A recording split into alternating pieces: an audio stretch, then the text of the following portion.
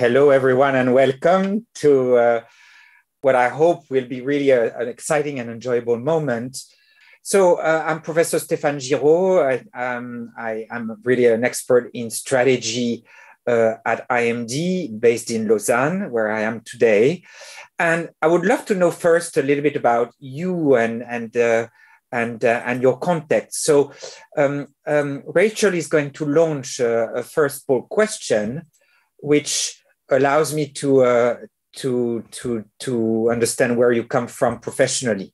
Good, good. So there's a really uh, a big diversity. Uh, what surprises me is that actually, although we're going to talk about the luxury industries, uh, the majority of you are not from uh, working in um, in the luxury sector.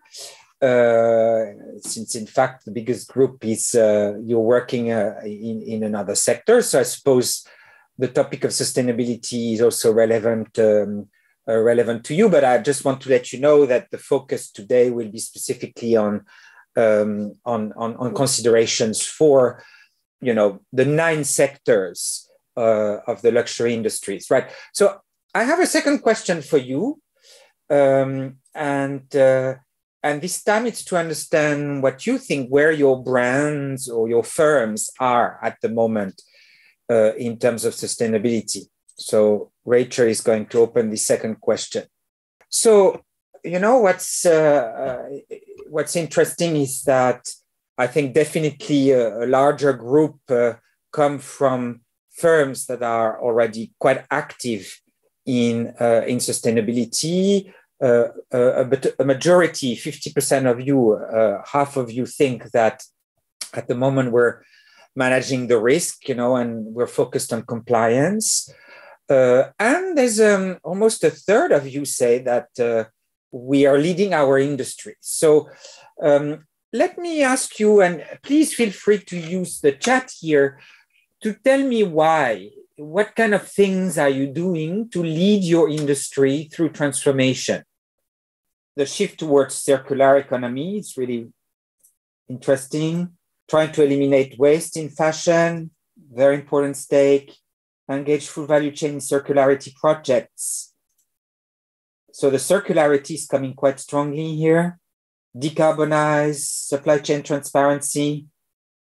Very nice to see this um, variety of, um, of initiatives blockchain yeah so the role of technology coming in also right and also what was interesting in this survey is that uh, a smaller group of you uh, almost close to 20% though think that uh, your business is falling behind right? And and actually this is where we're, we're going to start. It's um, it's uh, with this uh, uh, premise that it's really important to to act um, and to act now because the, the, the, luxury brands that are not going to be uh, really demonstrating concrete pro- progress on sustainability and a sustainability agenda, and I will clarify probably along the way what that means, um, are the ones that might, that might become uh, much less desirable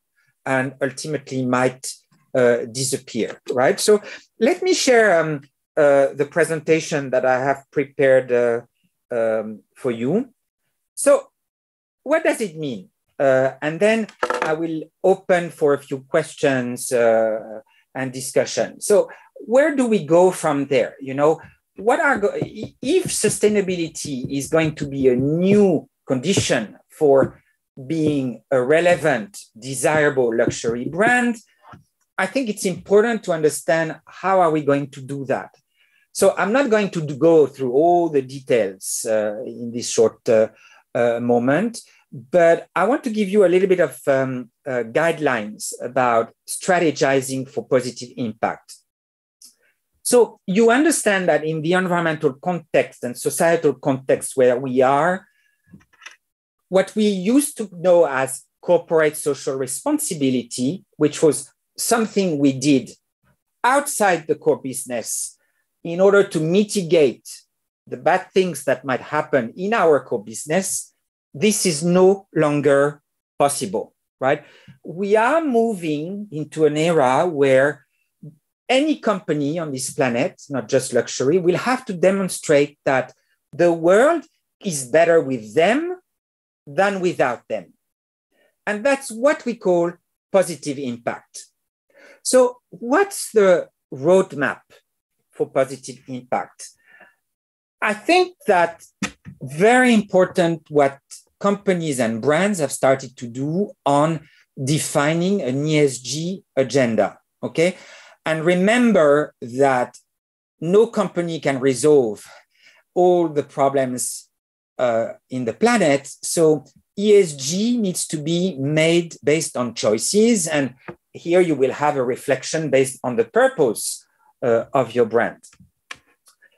ESG has paid off. You know, here are a few studies that show the rewards. So there's a good business case also uh, for investing in ESG. And I think ESG, the most important positive contribution of ESG is that it's a, a framework that is structuring how you measure things and improve.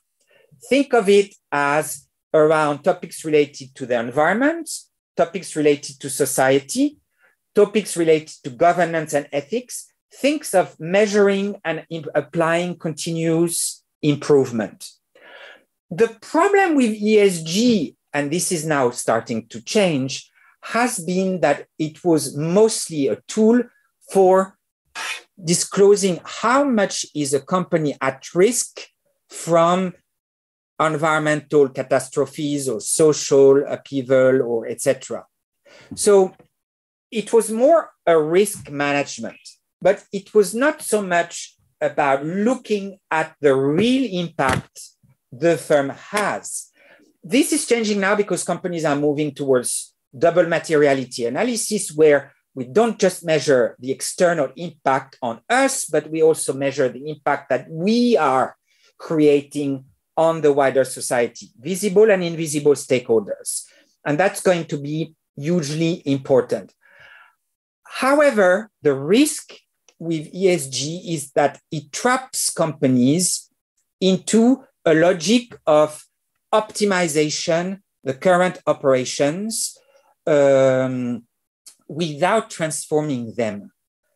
And for positive impact, we're going to need to start thinking about strategic renewal. Okay.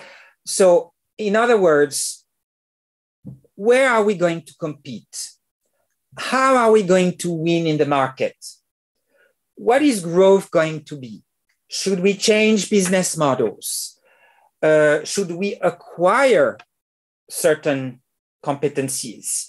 So the boundaries of the firm will change, you know, starting to question whether it makes sense to open luxury hospitality resources, uh, which is a decision about the corporate portfolio and the strategy of the firm. So it's the combination of those short terms uh, sprints and the longer term transformation. Uh, I call that the marathon that's going to help you to deliver, to create and deliver positive impact strategy. So I pause here. I would like to now take uh, a, a, few questions and then I will, I will continue. I will close by, by discussing three initiatives um, that IMD and its community have been undertaking in order to help you uh, address uh, some of these questions. Ah, what are my thoughts on lab, lab grown diamonds? I think, you know, um, so it seems that the data are showing, that studies show that if they are made from uh, renewable energy, they are very energy intensive to make. Uh, if they are made from energy intensive uh, sources, uh, non-renewable energy sources, then they have a negative impact. If they are made from energy, inten- uh, energy, renewable energy, they are better than um, the natural stones. um, the question about that is that the studies are only looking at certain facets. They're looking in terms of greenhouse gas emission, but I told you earlier, we need to have the net picture on the other E elements and the other S element to be definite about this answer. But whether we like it or not, they will probably be really, really important uh, for the future. Yeah, so the communication effort, you know, um, I think it's a great question. Um, and I think that there's been, to some extent, uh, some schizophrenia in, in the companies where I work uh, with. Huh? You see the, the supply chain, the product side, the supply chain are very, very engaged into um, reducing impact, ESG targets, etc. And on the marketing and retail side, um, the dream continues. It's about selling more, more, more, more, more. So, how can we continue selling more, more, more? We would need to close the loops in terms of circularity. Okay, so um, uh, otherwise, selling more, more, more, more, more can create uh, can continue the problem when we're in, right? So I think internal communication here will be very important. Yeah, so the external, uh, it's uh, um, luxury brands becoming much more engaged with um, stakeholders, with policymakers, uh, with regulators, uh, participates in, in the forum, um, and, um, and, and, and reshape how society um, addresses uh, this problem. Another way they can help is by, and some of them really do, is by uh, um, financing innovation in all the new technology. You know, we are we need a lot of new solutions in recycling uh, a lot of products. For example, in particular in the fashion sectors, where a lot of materials still cannot be recycled you know so investing into that uh, is going to be a way of creating a positive change but a lot of collaboration what we call here at imd the non-market strategy so how you bring on board and create coalitions with external stakeholders in order to create society level changes okay so the question on the business models i'm going to talk about this in a moment ah, do you think Gen Z and younger generation are driving the positive changes? This is also very ambiguous. You know, uh, I was last week in a presentation uh, here on the power of brands. Um, and uh, uh in Switzerland, it's a study, new studies that are being made. And one of the findings was that, you know, this winter, um, very uh, a, a minority of the Swiss population has actually cut down on electricity consumption, which was requested by the Swiss government. And in the 16 to 24 years old, they even increased their energy consumption. So I told you the picture is very, very, um, very mixed. That's why, if I go back to the point I made earlier, luxury has an enormous power to influence society through its messages. Uh, and it can really reset a lot of the mental thinkings uh, too, if it really wants to. Okay, so I think here you, you're asking very good questions, and that will allow me to, uh, to conclude, right? So uh, I don't know if you're familiar with that, but uh, uh, some of you have already joined the Reinventing Luxury Lab that which is an open program for the professionals of luxury sectors and across sectors. And this year, I'm, I'm going to ask, you know, what's next for growth? Um, because growth is a positive concept, right? But at the same time, growing in volumes, uh, as long as the loops for circularity are not closely uh, tightened, um, we know it's also very much taxing on the on nature and the environment, and, and also have social impact. So the question I will engage you over these two days with different facets of um, uh, so a lot about the circular economy and how to make it financially viable. A second one will be about more how, if you think in terms of sustainable growth, what's the role of retail, whether it's physical and digital.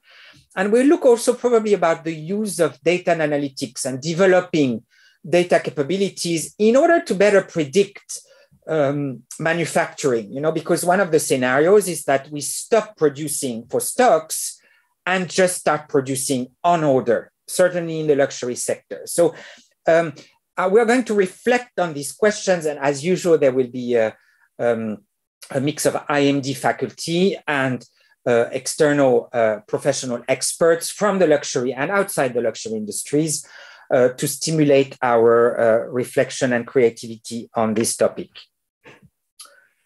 I also want to make you aware of a new uh, research initiative that uh, uh, our partners uh, uh, from HEC Lausanne in the University of Lausanne, Enterprise for Society, which also regroups EPFL, and Original, the technology company, we are um, asking brands to join uh, our platform because what we want to understand is which aspects of transparency mediated by technology is actually resonating and creating value for brands in customers' eyes, right?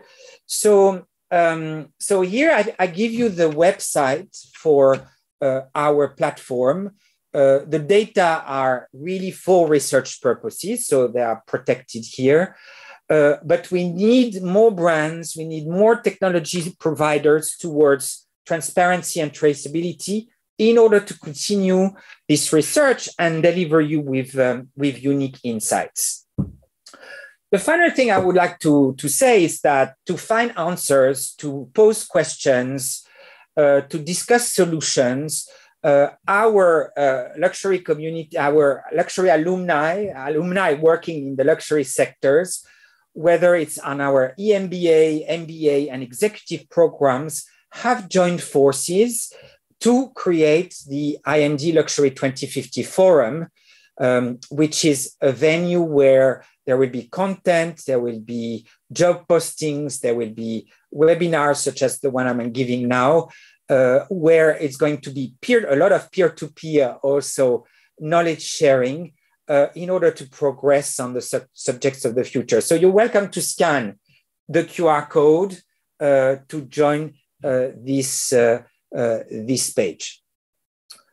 And if you want to stay in touch with me, you know, you're also welcome to use my, uh, my LinkedIn page uh, to do so. So I want to thank you very much for your active contributions. And I really look forward to diving into, uh, into all your input in the chat because it's really important for, for the research that I'm doing. Um, I think you were close to 200 today. And uh, I really want to thank you for your active contributions and and and for your um, and for joining us today. So I look forward to welcoming you again at IMD. Goodbye.